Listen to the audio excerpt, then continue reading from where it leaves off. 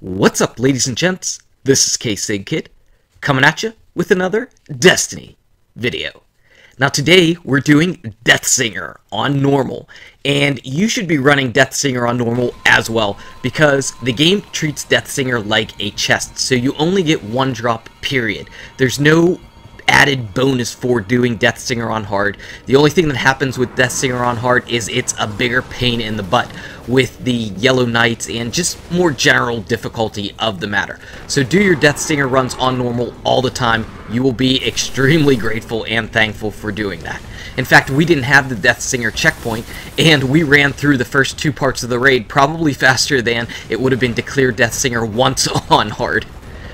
So one thing that you have to do is bring those wizards out, which is why I ran into the room, fired off a couple shots, and booked it out there. Once the wizard's out, it's really no problem in taking her down on either side, and then you have to take down the shriekers. Now on normal, you have a ton of time. There is no rush in anything, and you definitely don't need a party full of six people.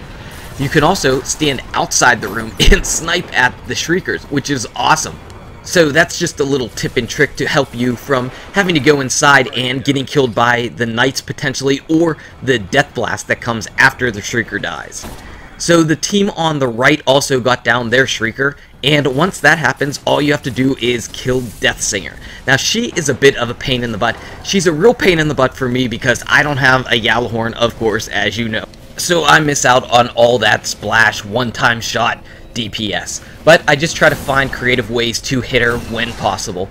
And one thing is, again, standing back and trying to snipe when I can. Now that Titan Bubble obviously kind of messed things up for me a bit, but it didn't matter because Deathsinger really, she wasn't out in a way that I could find her. She's kind of always hidden around the right side behind the rock and being a basic pain in the butt. But there she is, so we can get a couple icebreaker shots. You can see she's almost dead.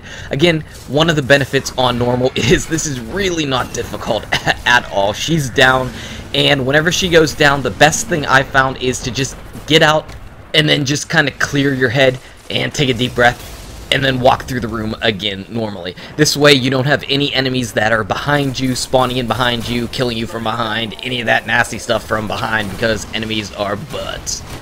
And once you do that, all you have to do now is kill the enemies. kill the enemies until you get rewarded. Score, Guardian. And of course, pick up all your fallen teammates who were in there doing all the hardcore damage on Ir and you're very grateful for them for doing that. and again, killing these knights is so much better on normal than it is on hard. They take so much more damage on hard. And if you're like me and want to run it back to back to back on three characters, this is really the quickest and most efficient way to go, even if, again, you have to do the normal raid from the beginning. I just feel it is far more efficient because I don't even have to switch weapons or gear or anything like that onto my characters. Even unleveled weapons should be good enough to deal enough damage and take care of business on this part of the raid. It's really not all that bad. And again, your chances of loot are exactly the same. So after a few more kills, we can go ahead and reap the rewards. What are we going to get? What are we going to get? Oh, crap. Oh, crap. I think that means I need to quit Destiny. I got the Mickey Fricky No Land Beyond. That sucks. But you can also see that we got three exotic drops on that one because that's how it works with Deathsinger. So anyway, guys and gals, thank you so much for watching. If you enjoyed the video, smack that like button, subscribe to the channel to keep updated on daily Destiny content, check out these awesome videos, Good luck with your raids, your drops, and I'll see you around in Destiny. Ear you.